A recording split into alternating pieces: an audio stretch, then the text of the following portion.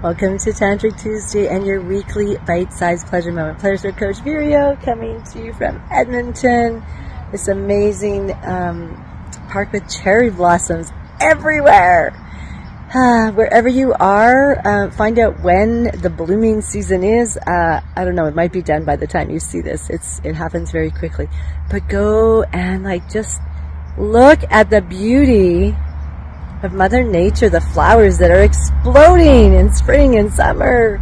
Absolutely, absolutely exquisite. And then realize that all the beauty that you see, this one is on the ground. I was blessed to find it. All the beauty that you see in these flowers is also in you.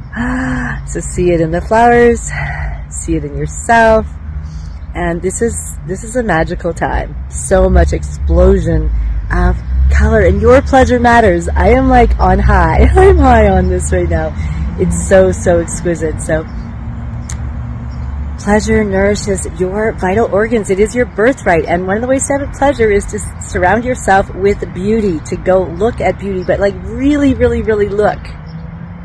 Really look at the flowers. Stop, as they say, and smell the roses. Stop and look at and and enjoy the cherry blossoms. I love you. Send me your photos.